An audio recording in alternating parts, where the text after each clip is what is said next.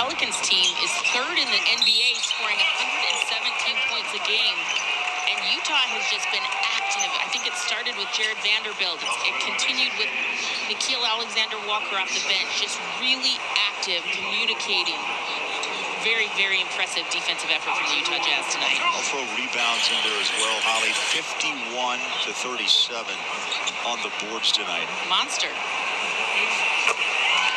Yeah, Walker Kessler, his rim protection, his blocks, like it, has been a little bit of everybody, and that's what's so impressive. I mean, this might be one of the better Utah Jazz overall defensive efforts we've seen. Rebound. JV passes out Conley. Rudy Gay on a drive. Skip it down low inside one more time. The lefty good.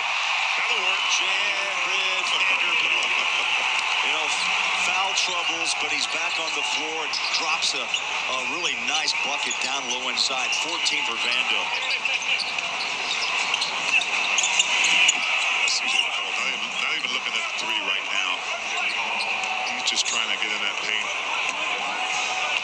to get a little bit closer to his average. 14 points. He had eight after the first quarter of play. So it's been a struggle from that point on. Conley dances out front. Seven to shoot. Zion trails him. Mike takes it over the big fella. Boy, struggled on the offensive end in this first three quarters of play. Breaks open here a bit with seven. I just love to see that out of Mike Conley.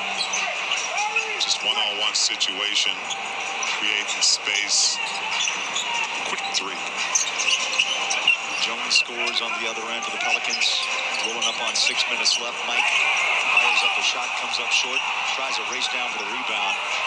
Zion one hands it down on the other end, and the Pelicans get a nice runner at the rack and a timeout. Will Hardy. Mike Conley thought he made contact on that pump fake.